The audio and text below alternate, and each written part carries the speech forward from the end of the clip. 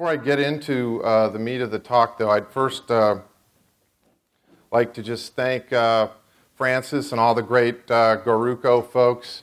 Uh, this is uh, quite a conference, a lot of fun so far. Give them a big round of applause. I'd also I'd like to thank you folks for coming out and supporting the Ruby community, and it's conferences like this that I think are a big part of, of what make the community special. I uh, came out here from, from LA, but I grew up in Detroit, so I have no problem saying I love New York City, and uh, it's, uh, it's been too long since I've been here, so it's a great opportunity to come out and, and meet a lot of new folks. a little bit, just to introduce myself a little bit. In the program, it says uh, that uh, I'm from AT&T Interactive. As of about three days ago, that's no longer true. I moved to a startup in Santa Monica called SharesPost.com. If you've ever thought to yourself, man, I'd like to get in on uh, buying some Facebook stock or Twitter stock, that's what we're trying to make possible, uh, private equity trading. Uh, I'm also the lead developer for, for Waves, and uh, it, it in the role that I had at AT&T, I was doing a lot more uh, managing, so my GitHub account shows a little bit of a lull in commits over the last few months. I'm hoping to kind of get back and be a little bit more hands-on. Uh, but I still am allegedly the lead developer for Waves. Uh, there's some of my contact info there, and, and part of the fun for me of doing these talks is, is meeting all of you folks. So I genuinely hope that you will if there's anything in here at all that's interesting or that you think you might at some point uh, uh, want to talk more about or you have ideas that you think uh, might influence the direction that, that we're trying to go with this project, I really do hope that you'll uh, reach out and get in touch and we can get to know each other. Google, a couple of days ago at uh, Google I.O., announced uh, a project called Google Wave.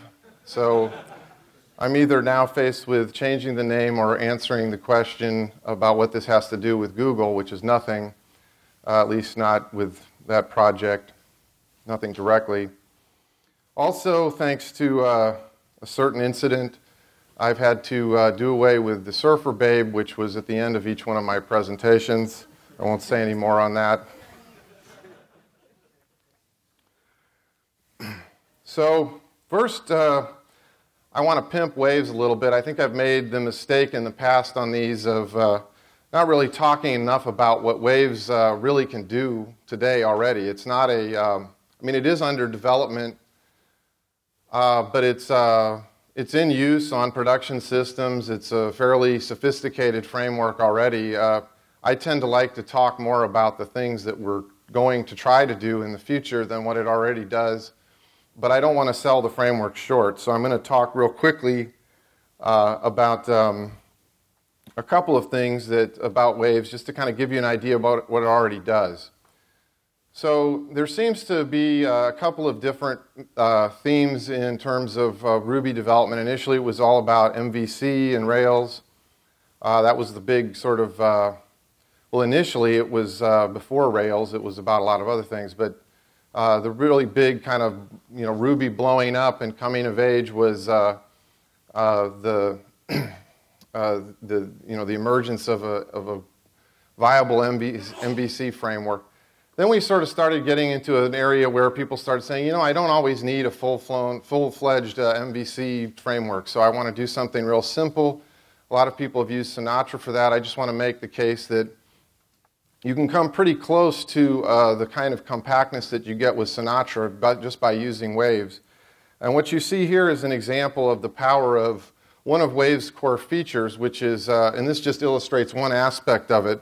Hopefully, uh, the code is big enough to read, probably maybe not, but uh, it has basically it, it has a nice DSL for accessing and, and, mapping to HTTP requests that you can sort of use in a lot of different contexts. So it's a little different than conventional MVC style routing uh, that you see with, uh, say, Rails. Uh, and uh, so I can match on a lot of things, the accept header, the query, uh, and I can do it, you know, as not, it's not, it's not a uh, unnatural thing to do. So in this case, you see I'm matching, I'm saying, look, there must be a query parameter in the, in the request called name. There are uh, a number of, of those kinds of, of primitives. In this case, we're using uh, the compact foundation, which allows me to build a very, very sort of small, compact, kind of Sinatra-like app. But if I get new requirements, um, you know, I can also go uh, to, uh, to, to handle more sophisticated things. This is a more traditional web app that uses what's called the MVC foundation. So these foundations are sort of pluggable into waves and give waves different kind of character depending on what your requirements are. The nice thing about that is you can start simple and, uh, and then as your application evolves, you can, you can bring in whatever foundation makes sense or additional, what we call layers. So a foundation is made up of layers.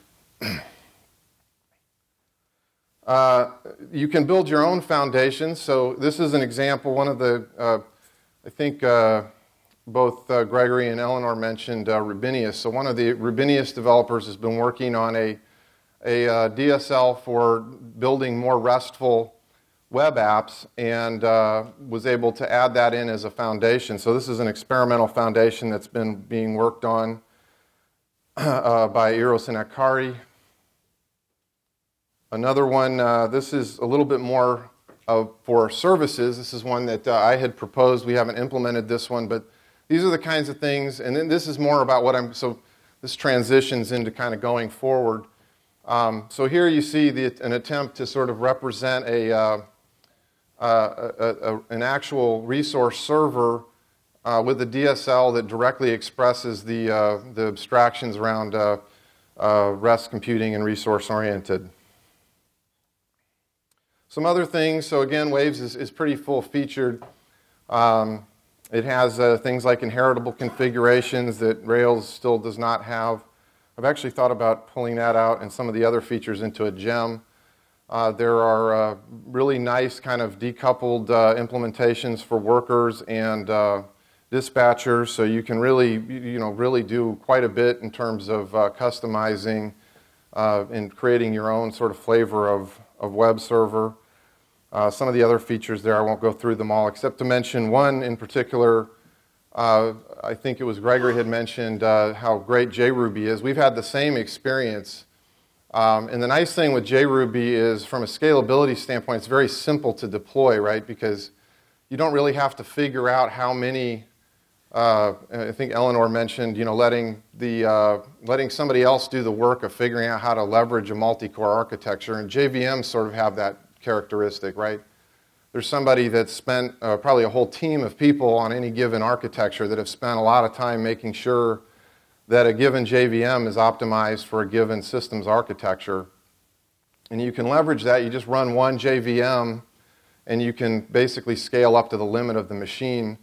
Uh, and there's nothing, there's nothing more to do. And we've been doing that, not on huge load, but, but actual production stuff, just uh, has never gone down, and we've been running that for months uh, on uh, you know hundreds of thousands of requests. Now, one of the things that I get a lot uh, after I go through uh, some of the more arcane, interesting things that we're trying to accomplish with waves is people saying, you know, that's fascinating, uh, but it doesn't really impact me at all. I, everything I'm doing really fits perfectly well within the MVC paradigm. And that's uh, probably true for, for most of you. And I, you know, I'm not trying to uh, make your life more complicated. but uh, what this really is is a symptom of the fact that the, the, the by far the most successful uh, web client was, is the browser. But that's not necessarily going to be the case uh, for the indefinite future. Uh, we've already sort of seen people start to start to do things within the browser where they're effectively tunneling with things like uh, Ajax and Comet, right?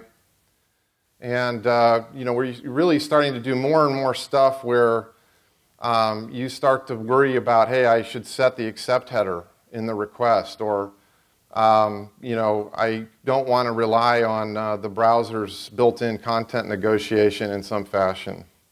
And with the uh, with the emergence, I think the last time I checked on programmable web a few months back, there was well over a thousand uh, publicly available APIs.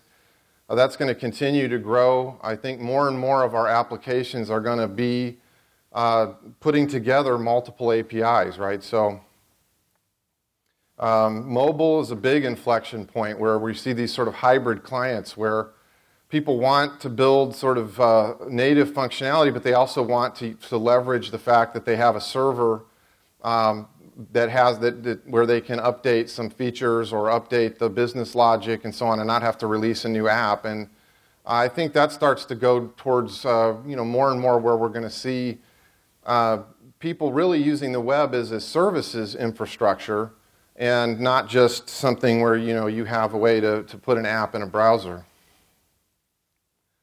So uh, my favorite example of this is, uh, how many of you are familiar with an open source project uh, called Boxee? So we already see um, the, uh, the IPTV coming to us, right? The, the, Apple TV sort of has one. It's only a matter of time before, uh, I, by the way, I'd, I'd love to see a, a, a Ruby Boxee. I don't know if anybody's working on something like that, but if you are, please let me know.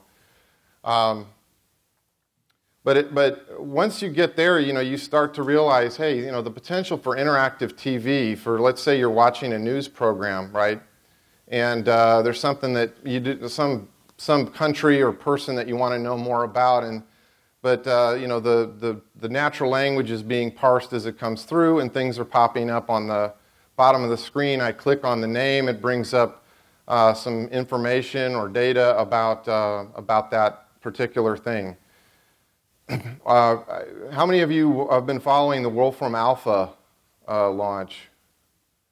So there's another example, right, where this guy has built a search engine that sort of semantically parses uh, web, web content and allows, uh, makes it possible to do some analysis. So I think we're moving more and more towards a very, very different kind of web. And so if it hasn't impacted you yet, uh, you know, it's something to kind of keep your eye on. That uh, you know, the MVC view of the world and the browser centric view of the world isn't going to be with us forever. And one of the profound things about this is HTTP itself is actually not MVC, and I'll talk about what it is uh, here in a minute. But one of the things I want to get across, and, and uh, this kind of goes to the theme of uh, using not just Ruby, but really uh, the web itself to its full potential, uh, you've heard the, the, I don't know, there's some statistic that we only use like 3% of our brains or something. And we really only use about 3% of the power of, of the web. And the idea is that Waves is there to help you um, as, uh, as, your, as our collective requirements evolve past MVC. Waves is there to sort of help us figure out uh, how, to, uh, you know, how, how to write frameworks and, and build applications that take advantage of that. Uh, so again, uh, you saw earlier I talked about the foundations and layers. Waves just is, is much more flexible than traditional frameworks. It allows you to mix in the features that you want uh, and then uh, um, build, on, build from there. So you can start very simply and then go on. Now I want to talk a little bit about uh, the, um, the, the, terminology I'm using. Uh, rest is uh, a, a, very controversial term, right? And if anybody's followed uh, Roy Fielding's blog, you know that he's very irritable. and uh, one of the things that uh, he gets kind of, I think, reasonably upset about is he invented the term rest and then finds himself in, in arguments with people about what it means. So you can imagine, uh, it reminds me of, of, if any of you are old enough to remember use cases and when they first started and a guy named Ivar Jacobson invented the concept, and then you know, there was this endless debate about what use cases were, even though he'd written a book on it, and it was all pretty much defined clearly in the book. Um, REST is sort of like that, where um, I think if we want to move beyond talking about REST, an appropriate term is a resource oriented architecture. So if, if you want to freelance a little bit and you want to get outside of of what's strictly speaking, you know, Roy's definition of rest, then I like to use the term resource oriented for that. And resource oriented, unlike REST, isn't just a set of constraints. We can actually talk about a real architecture and try to pin down, okay, it's HTTP based, it's, um, you know, it's uh, got these conventions, uh, uses these standards, and so on, which, uh, like, for example, REST, it doesn't talk really specifically about HTTP at all. So what I'm really trying to talk about from here on out is, is HTTP-based resource-oriented architecture. the great thing with the web uh, is that we've already got a huge proven infrastructure in place, right? So we don't, it kind of amuses me. I had a recent discussion with a colleague who was talking about wanting to implement a custom protocol for something.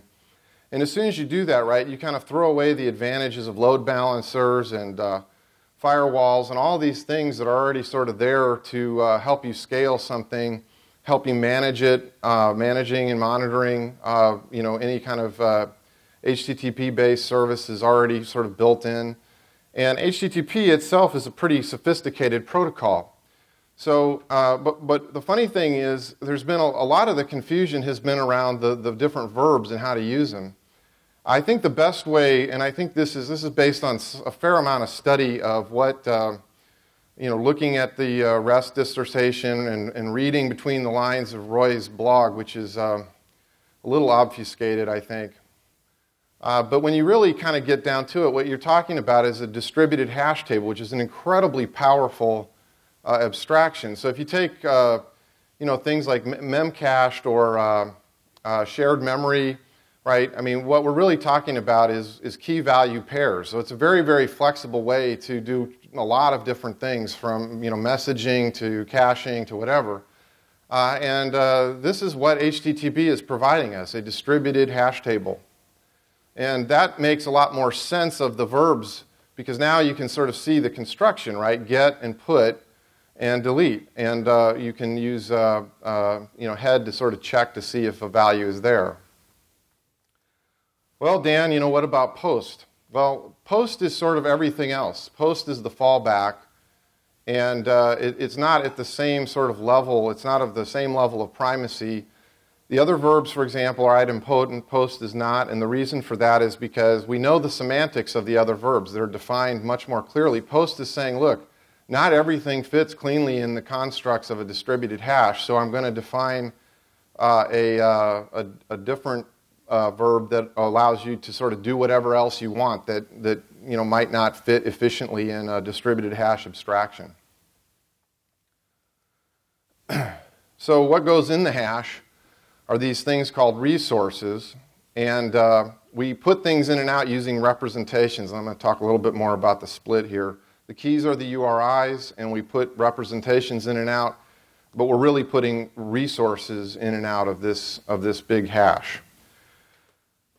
so what's a resource? Well, it's really, an, it's kind of, if you think back to your object-oriented programming days, what we're really talking about is objects, except that in objects, usually we're talking about within a single programming language, right? So we don't worry too much about uh, the difference between the representation of an object and the actual object itself. In the cloud, however, we are assuming a very, very heterogeneous environment where the odds are, in fact, that the client and server are going to be different platforms. So what we want is a platform neutral way to approach this problem. And I think on top of that, you know, objects are sort of, the, the term is overloaded. So the nice thing is saying, look, let's just forget about all the history here, but, but remember the construct. We want some kind of thing of saying this is an entity, a thing, a, a, a noun. And uh, now, so I've got my, I've got my uh, resource and then in order to support n number of platforms, I've got my representations of that resource. So I'm taking the concept of an object, splitting it into two pieces. Again, going back a little bit, if you're old enough to remember, this is like the holy grail of computing. This is a big deal. Uh, there's been many, many attempts to solve this problem. And HTTP, sort of while we were sleeping, as it were, uh, has actually solved the problem quite elegantly. Uh, but I think resource oriented goes a little bit beyond even that. Um, how many of you are familiar with uh, Resource Description Framework, RDF? I think it's something that's worth getting familiar with. Uh, and the reason is that it's sort of a crucial, you need something like RDF. If you're familiar with service oriented architecture, uh, you, have probably seen WSDLs and XML schemas and so on. Well, RDF is kind of the, the uh, restful answer to those things. It's much more flexible. It sort of unifies uh, both the schema side of it and the resource description side of it into a single uh, framework that's quite extensible. you should check out Freebase to kind of get a, a freebase.com, I believe it is, to get sort of an initial idea of the kind of power of, of RDF. And what RDF allows you to do is sort of provide a generic standard entry point into a uh, set of resources so that uh, you don't have a whole lot of things where a programmer has to sit down and read your documentation to figure out how to call your services. And what we're really trying to do is the same thing that I think Ruby has done quite elegantly itself as a language, right? Which is principle of least surprise, and, and uh, that sort of begets all kinds of uh, benefits. Is if you get a nice, elegant architecture underneath the covers, you know, you start finding that you could do things that you didn't realize you could do. You can combine things uh, and that, that you know you hadn't thought of combining when you first designed a system. And so going beyond the original conception or design of a system, that's sort of the essence of mashups as well. And that's what cloud computing, I think, is really going to be all about. So being able to have a, a, a sort of machine readable and discoverable and dynamically composable set of services is actually the key to you know, getting uh, this kind of fusion reaction inside of the cloud. I just, I just made that metaphor up off the top of my head. A great case study of this is uh, RSS and Atom, where I don't really need to know the specific link structure of your blog. I don't care whether you made your URLs readable or if they're uh, MD5 hashes. I don't care because I have a, what, in effect, sort of an RDF file. It's a little bit, it's sort of a derivative of RDF um, that describes the structure of your blog. And in fact, uh, because it, it, also provides for content negotiation, we got the un, unintended consequence of podcasts came out of that, right? Where I could describe other media types uh, besides just an HTML web page. And I can get all of this with a single link. And that's the kind of the key thing we're looking for is I can write generic clients. I can give you an RDF for my serv- for server for a given service or services and you can take it from there because that's the only dependency uh, that, that I have. And uh, that's kind of the essence of loose coupling. And so we've, we've already seen it in action. And if you, if you kind of ever get like, okay, wait, why am I doing this again? If, as you're playing around with these things, um, you know, this is what we're trying to get to. Now, I'm going to sort of, um, yeah. Oh, sorry. thought somebody was raising their hand. Uh, I'm going to kind of go through just some, some different practical examples of wins in HTTP that I think are interesting and that we're trying to make easier to uh, take advantage of in, in waves. uh, one of them is, is the notion of edge caching. HTTP has an incredibly brilliant way of, of handling caching.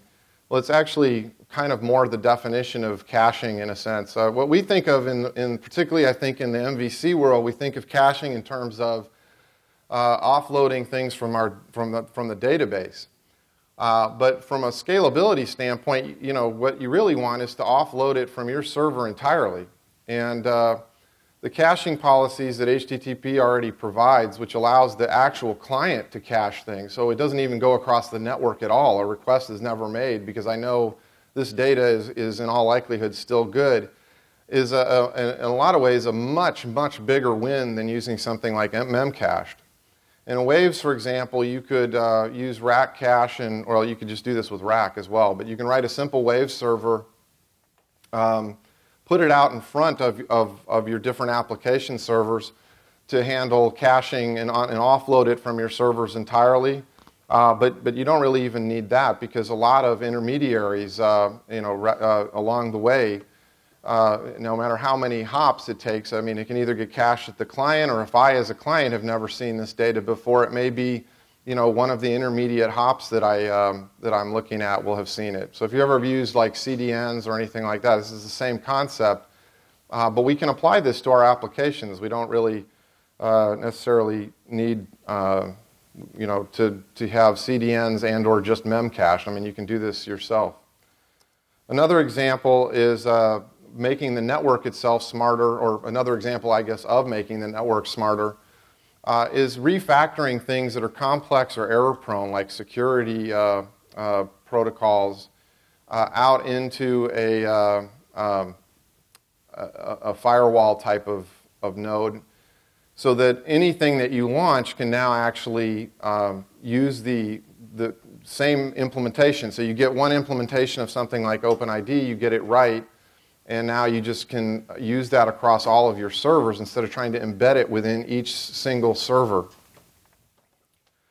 And again, uh, Waves allows you to do things like you don't really need a URI. It's not a URI centric. The, the HTTP request handling is not URI centric. So um, you don't even need to define a URI. I can say, look, on, on any request uh, that's, a, that's a post, put, or delete, I want to make sure that it's an authenticated request. And now I've just picked that up for my entire, no matter how many nodes I might have, no matter how many different applications I might be running, uh, I, I, now know that I, there's no way requests are getting through that aren't authenticated. Now, you can, of course, do that uh, in many firewalls. You can do things like that as well. But uh, sometimes it's nice to be able to use the same kind of application logic, um, you know, where I, I, just want to write a, a Ruby OpenID uh, uh, server or client, really, um, to, to check authentication, right? And uh, so I do that,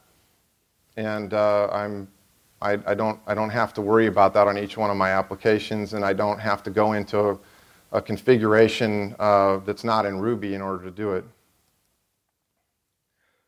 Another kind of in, interesting best practice is, is that a lot of times uh, people using the term RESTful kind of violate this uh, rather badly, is uh, instead of, in this example, I've got a link as the, the value of, for updates and fans. So I've got this sort of Twitter clone. Instead of followers, I've got fans. And um, so, you know, now the URLs there are sort of semantically meaningful, but they could be anything.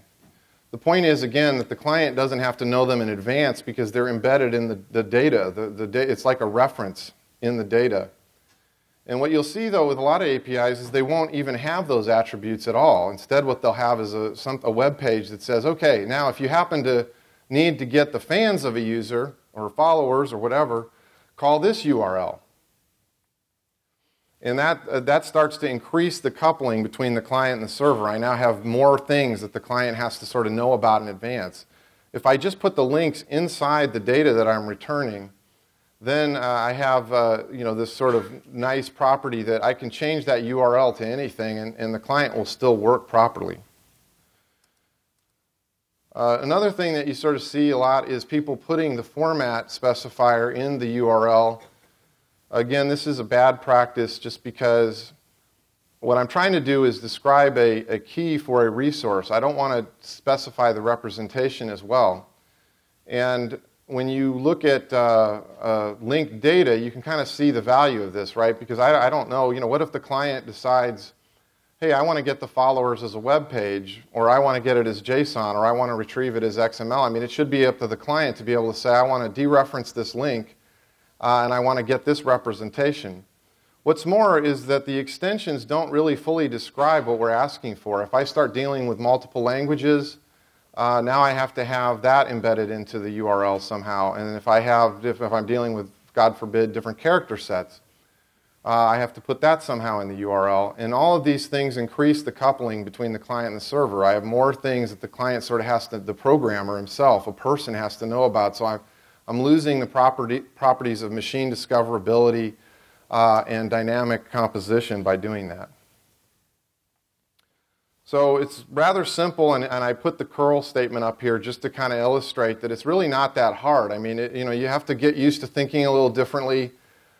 Uh, the team that I was working with at AT&T, we've gone through a definite learning curve on, on getting used to this, and there's a lot of resistance, especially for programmers that are really, really good at the MVC paradigm. It gets, it's a little frustrating because they have to kind of unlearn some things. Uh, but once you start getting going with it, it actually starts to become quite natural because this all really makes sense. I have RDF for an entry point. I have my uh, content negotiation to decide what representations I'm getting. And I have linked data to be able to navigate to find whatever it is that I want without having to know ahead of time what the URLs are.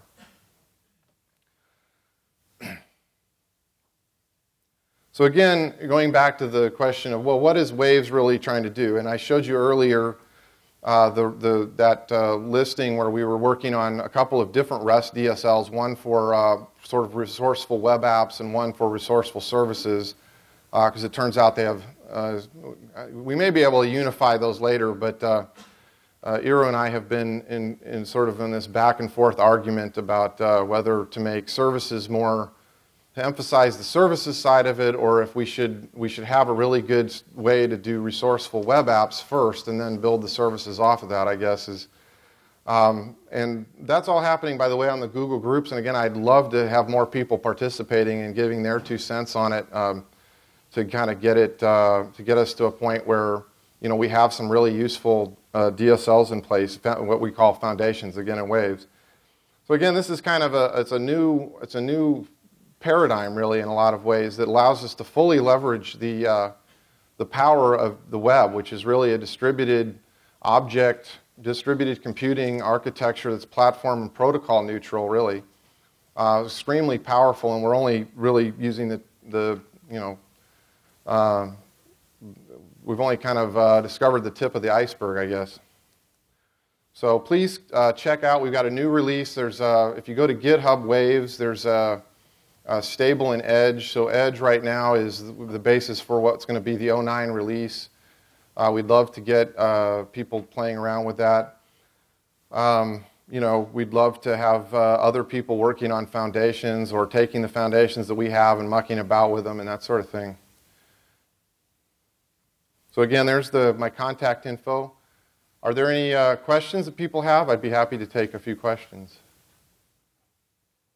Yeah. So um, you had said that the URL, the requesting URL itself shouldn't specify the format of the resource.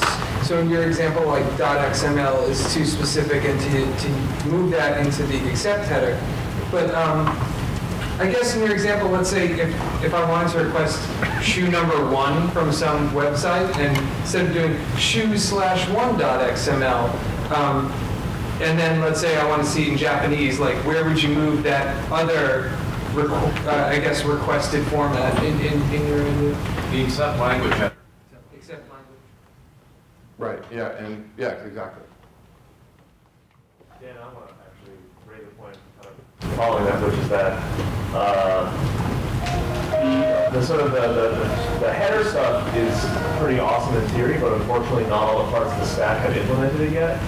Um, we've had a problem at Sling actually where we have calls that do posts or gets. Uh, and they do accept and they accept JS. There's no .js or JSON or I forget what it was or whatever, but it's overwritten with an also return HTML. Akamai doesn't track these. So you'll get these things where someone will first hit do this get on this URL with an accept and it'll return HTML. And then a second later, someone will do a second get on the exact same. The URL is the same, but the accept is, the header is different. Akamai doesn't, doesn't care. It just thinks it's giving you HTML. So we've actually had to uh, you know, be less restful, unfortunately, in, in that scenario. Now, maybe we should just not use Akamai, but obviously. So I, I guess I guess the, the point I'm raising is that like I think all this stuff is really awesome, but I think also like HTTP is a set of conventions that the entire stack is sort of converging on, but they're they're uh, uh, like how well they implement everything is a varying quality. You're not supposed to bring that up. no, we, have had uh, we've had similar problems. In fact, the browsers themselves will just blatantly overwrite the accept headers with uh, things sometimes uh, for you know, like if you have a .jpeg on a URL, it'll just say, okay, it's, uh, I'll accept, some, some of the browsers will just do star dot star, you know, I'll take anything. And uh, uh, there's definitely some gotchas. It's like any kind of new paradigm. You have to kind of work through the, uh, you know, the issues. And I think saying to people like Akamai, like, hey, this is a bug, man. I mean, we need, we need a, either a version of this that works for more RESTful stuff or uh, we're going to do, do, use somebody else. Yes? Akamai's defense, uh, I suspect that they're trying to work around a, bug or an implementation detail in Internet Explorer. Um, and, um, yeah, I, yeah. yeah. But um, anything that has to do with Internet Explorer is going to have to have well, yeah, has some special yeah. features. Yeah, um, but um, without being distracted on that. I, I have a very fundamental question, and uh, maybe I'm just stupid, or, or maybe I am, and it still might be a good question as well. Um, but there's a lot of fuss about RESTful, and what do I lose if I say, I'll forget about it, forget about it, who gives a shit? Well, sadly, that was the, the whole point of my talk, I guess. But uh, um, no, I, I think what you lose is the the um, uh, this, the discoverability, the composability, the the sort of unintended benefits that come out of synergies between all kinds of different things working the same way. You as an individual today probably don't lose a whole lot. But uh, if we all continue to sort of go off and create our own little silos, and I don't think that's where this is going. I mean, you look at things like OpenID and the, the social network APIs. I mean, clearly, uh, or Amazon's web services where I can now do monitoring and I can do auto scaling and stuff. I mean, clearly this is all moving towards this big, vast collection of services in the cloud that we're going to compose to do uh, probably today maybe 10% of what we really want to do, but it's going to increase over time. So today you probably don't pay too much of a price. But I think over time that price will increase. Eleanor? Um, well, partly to follow on from that, what you lose if you're not restful is you're fighting the physics of the net.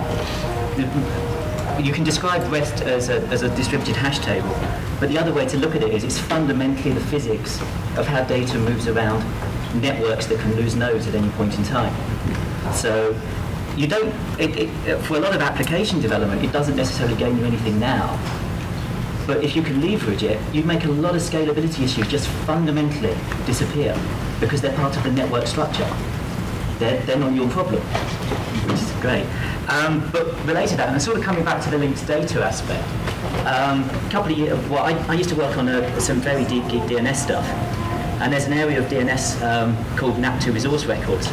They are exactly that. They are abstractions of URLs away from URLs. They're service oriented and they're doing almost exactly the same thing you're doing doing there with RDF. Only they're right the way down. They're in the network. They're in the actual lookup of machines.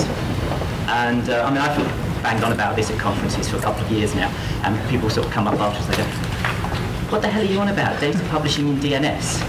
But it, all of this, it, it's about moving us away from caring about the physical infrastructure.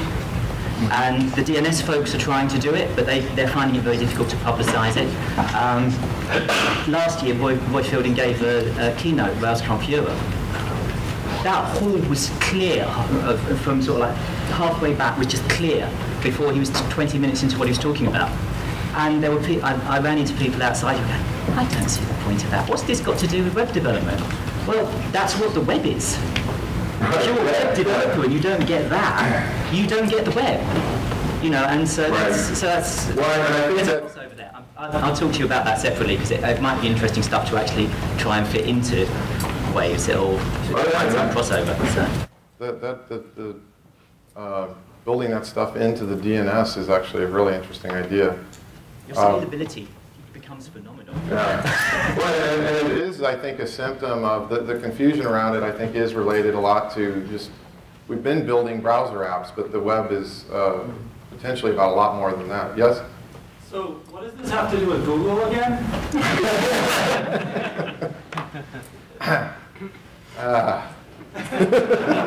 Starting already.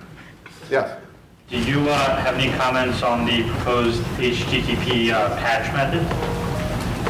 No. Um, but I'd love to get your thoughts on it. I haven't really looked at it. I haven't either. Oh, okay. Yes? Um, just kind of a random question, but uh, you know, if we're talking about uh, keys to resources and caching, and the browsers are really good at figuring out how to do caching, but if you've got these keys in your um, RESTful app in your code, um, do you have to also program uh, all of the caching mechanisms into your code to decide when and where to update a new resource? Yeah, and in fact, if, uh, if you look at the. Oh, yeah. Uh, the, the question was um, uh, you know, what, how much logic do you have to put into your code to manage the caching, to manage HTTP caching? Is that a fair? Um, and in the DSL that I, the, the, one that we're still kind of fiddling around with for services, uh, you'll see that in fact, uh, in fact, I'll just quickly put this up. You'll see that, um, there we go. If you can read, I don't know if you can actually read that, but uh, one of the core things when you're defining a resource uh, is for given methods is when, when does that, uh, how long does that, is that, that um, request cacheable for? When does, when does that object expire? So yeah, you do have to put that kind of thought into, uh, into your app. And, and uh, but what, what the thing that we found that was sort of interesting is the more you, resources tend to be much more fine grained. I mean, it's almost at the level of uh, like when you do fragment caching. You know, if you have resources that are sort of fine grained, you get to the point where um, you know you, you get things like fragment caching for free. So it's if you've gotten to the point with your apps where you're doing like fragment caching and uh, doing observers and all this kind of stuff, then uh, this is you know, no different. It's, it's probably even a little simpler. But yes, you do have to put that into the application. All right, thank you very much.